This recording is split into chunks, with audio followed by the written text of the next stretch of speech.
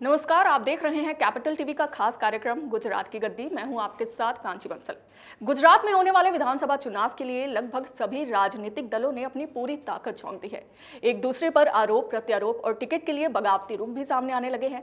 2017 में राहुल गांधी ने यहाँ पर धुआंधार प्रचार किया था, लेकिन इस बार वो भारत जोड़ो यात्रा निकाल रहे हैं। भारत जोड़ो यात्रा के चक्कर में राहुल गांधी हिमाचल प्रदेश में चुनाव प्रचार करने तक नहीं पहुँचे। वहीं पार्टी सूत्रों का कहना है कि कांग्रेस ने ग्रामीण गुजरात में लोगों से ठीक ठाक संपर्क कर लिया है। कांग्रेस को वहाँ अच्छे प्रदर्शन की उम्मीद नज़र आ रही है लेकिन चुनाव की सरगर्मी के बीच कई सवालों को तूल मिल रहा है। इन्हीं सवालों के जवाब के लिए हमारे साथ स्टूडियो में मौजूद है कैपिटल टीवी के editor in chief doctor Manish. Doctor साहब बहुत बहुत स्वागत है धन्यवाद। डॉक्टर साहब गुजरात चुनाव सर पर है। ऐसे में कांग्रेस चुनाव प्रचार में कहीं नज़र नहीं आ रही है। मिशन गुजरात को लेकर क्या कांग्रेस की कोई रणनीति है भी? बिल्कुल रणनीति क्यों नहीं है? लेकिन ये रणनीति कितनी कामयाब होने वाली है, कामयाब नहीं होने वाली है, ये एक अलग प्रश्न है जिसका जवाब जो है नतीजों के बाद निकलेगा। लेकिन अगर मेरी पर्सनल ओपिनियन अगर आप माने तो मुझे लगता है कि कांग्रेस पार्टी ने भारतीय जनता पार्टी को गुजरात जो है सौंप दी है। भाई जीत जाओ। क्यों? क्योंकि प्रचार प्रसार इतना लो प्रोफ़ाइल है कि कांग्रेस पार्टी के पक्ष में कोई हवा भी नज़र नहीं आ रहा। और इतना ही नहीं, एक पार्टी जो दिल्ली से चलकर गुजरात पहुँची है, वो इतना ज़्यादा बवाल मचा करके, इतना ज़्यादा, इसको कह सकते हैं कि हाई प्रोफ़ाइल कैंपेन के साथ वो अपने आप को नंबर टू की पार्टी लोगों के दिमाग में है नहीं, लेकिन उस तरह का इमेज क्रिएट करने में वो कामयाब रही है। तो आम आदमी पार्टी से ही पहले तो कांग्रेस पार्टी को लड़ना होगा। और अगर आम आदमी पार्टी 20 परसेंट वोट ले आती है तो कांग्रेस पार्टी कहाँ जाएगी? ये कुछ बड़े सवाल हैं, लेकिन इसके बावजूद उन लोगों ने रणनीति बनाई है। जो हमारे पास जानकारी आई है, उसके मुताबिक कांग्रेस पार्टी के रणनीतिकारों ने कुल मिलाकर चार अलग अलग कैटेगरी के विधानसभा को में बांटा है। A B C D A category, जहाँ कांग्रेस पार्टी को लगता है कि भाई, हमारी जीत पक्की है। बी, जहाँ टसल चल रहा है कि भाई मुकाबला टच एंड गो का है। सी कैटेगरी वो है कि जहाँ कांग्रेस पार्टी के लिए थोड़ी मुश्किल है, वहाँ पे बहुत मेहनत करने की आवश्यकता है। और डी कैटेगरी, जहाँ पिछली बार भी जो हार और जीत का, मैंने बीजेपी जो जीती, वो दायरा इतना ज़्यादा है कि वहाँ पे जीत संभव नहीं है।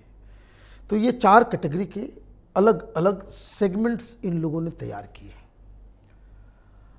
अब नज़र तो नहीं आता, लेकिन कांग्रेस के मित्र बता रहे हैं कि हम लोगों ने जानबूझ के तैयारी की है कि भाई मीडिया से दूर रहना है। अजब कहानी है। ये दलील समझ में नहीं आ रही। वो कह रहे हैं कि देश भर के नेता वहाँ जा रहे हैं। चुपके चुपके चोरी चोरी वहाँ पे कैंपेन किया जा रहा है और उनको ये कहा गया है मीडिया से दूरी बना करके रखिए। जी ऐसे समय में तो मीडिया की ज़रूरत पड़ती है पार्टियों को। अब वह पता नहीं ये कबीर दास की उल्टी वाणी बरसे कंबल और भीगे पानी राहुल गांधी के नेतृत्व में कांग्रेस पार्टी कुछ भी कर सकती है। और एक दूसरी पार्टी है आम आदमी पार्टी जो मीडिया में छाई हुई है। अब ये पहली बार मैं सुन रहा हूँ कि भाई प्रचार प्रसार जो है, वो अंदर अंदर करो, बाहर मत दिखाओ। तो ये चार कैटेगरी पे अलग अलग काम हो रहा है, लेकिन इन लोगों की जो पूरी तैयारी की गई है, वो बताया जा रहा है कि सीएसडीएस ने कोई सर्वे किया। सीएसडीएस के सर्वे के आधार पे ही ये लोग रणनीति बना रहे हैं। मैं आऊँगा कि भाई वो कैसे क्या करना है उसमें? अब इस पूरी रणनीति का दूसरा जो पहलू है, वो पहलू ये है, और जिसको शायद कांग्रेस पार्टी ने इग्नोर कर दिया या नहीं कर पा रही है, वो ये है कि पिछली बार भारतीय जनता पार्टी सबसे कम सीट ला करके सरकार बनाई थी 99 सीटें जीती थी। लेकिन वोट परसेंटेज 48 था। और 42 के आसपास आपको वोट मिला था कांग्रेस पार्टी को।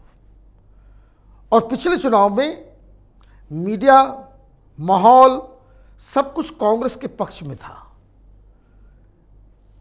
नए नए लोग जुड़ रहे थे। राहुल गांधी का धुआंधार भाषण चल रहा था। रैलीज हो रही थी। डोर टू डोर कैंपेन हो रहा था।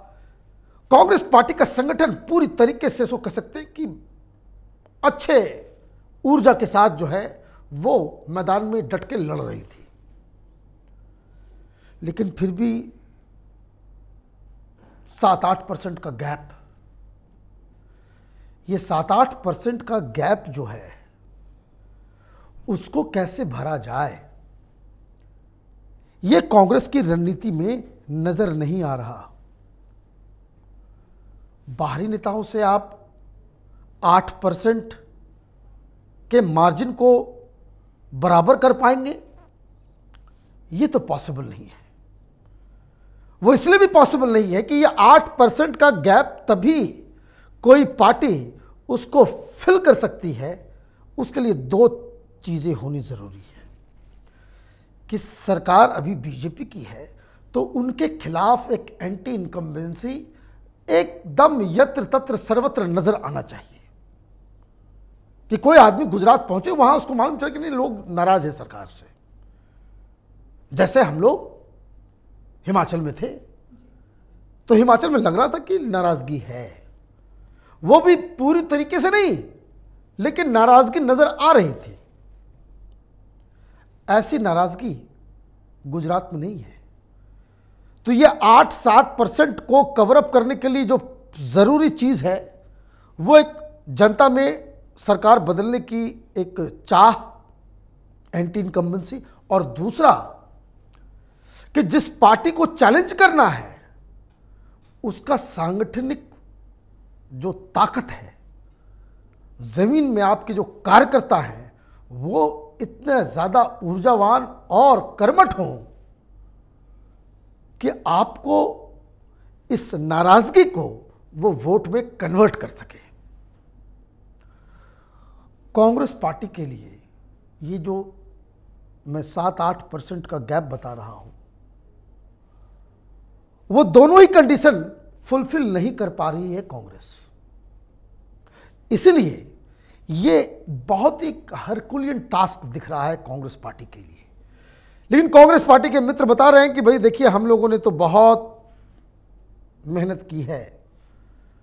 वो प्रदेशव्यापी परिवर्तन यात्रा हमने निकाली थी। उससे बड़ा माहौल बना, लेकिन हमने तो माहौल देखा नहीं। खैर, कांग्रेस के लोगों को लगता है कि भाई माहौल बदल गया है, मुबारकबाद उनको। दूसरी चीज़ जो वो कह रहे हैं कि हमने आदिवासी, दलित, बहुल और ग्रामीण क्षेत्रों में हमने फोकस किए जो आपने इंट्रोडक्शन में कहा। और जो रूरल सीटें हैं, सौ के आसपास है। दिक्कत क्या है वहाँ?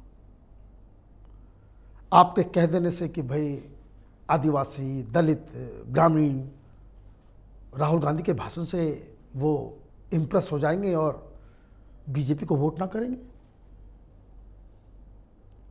एक चीज़ याद रखने की है। ये कोरोना काल में जो ग्रामीण इलाकों में गरीबों को अनाज पहुँचा, बैंक में पैसे ट्रांसफ़र हुए, इसका इम्पैक्ट हर राज्य के चुनाव में दिख रहा है। तो इसलिए ये सुगुफा दिल्ली में बैठ करके कई सारे पत्रकारों को मैं देख रहा हूँ कर भाई कि आपको समझ में नहीं आएगा, कांग्रेस पार्टी बहुत ही माइक्रो लेवल पे कैंपेन कर रही है। This is high time micro level पे कैंपेन अगर आप कर रहे होते छह महीने पहले,